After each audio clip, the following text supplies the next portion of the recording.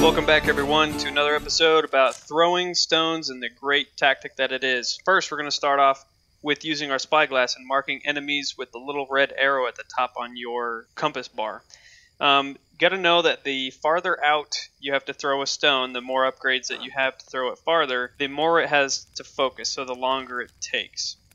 Now, when you use these stones and you knock these players out, like this part right here, their comrades, if they're near enough, will be notified or they'll see them, and then they'll come over to that that fallen uh, NPC.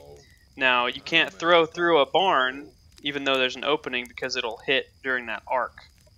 You also can't hit the uh, other NPC when they're doing the action to wake up their other friend, but I can knock their friend back out, just like that. So, um, when you're fully aimed, you don't have to be exactly following the character, and you can kind of have a little bit of leeway when you're throwing the stones.